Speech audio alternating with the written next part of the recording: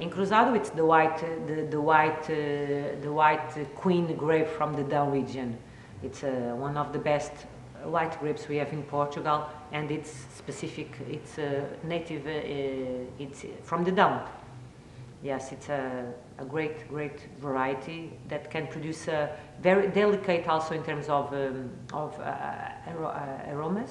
It's very delicate, also flower, more flower, floral, and um, but has a very good acidity and a very good structure. The wines with the encruzado can have a great evolution in the bottle. It's possible to drink a wine made with encruzado uh, like uh, with uh, 40 years old or something, if they, they are well in terms of stock, uh, uh, in uh, very good conditions in terms of stock, they can be very, very good. And sometimes the evolution of a encruzado has some similar aspects as the Riesling, some petrol notes with the time. It's very interesting, the encruzado.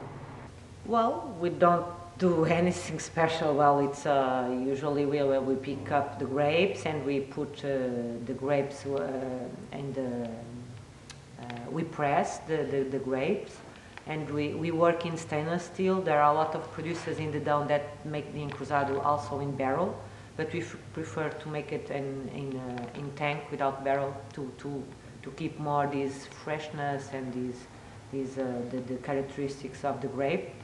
Uh, it's natural fermentation, and um, and the wines are um, after they are they stop the fermentation.